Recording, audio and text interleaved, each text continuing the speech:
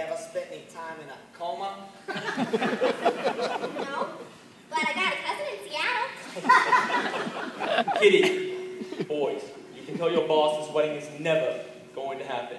You have my word. Oh, we'll take your word all right. But to go back on that word would be a recipe for disaster. I hope we've made ourselves perfectly eclair. Ah, one can only hope. You Biscotti, you kidding me? A trifle lunch.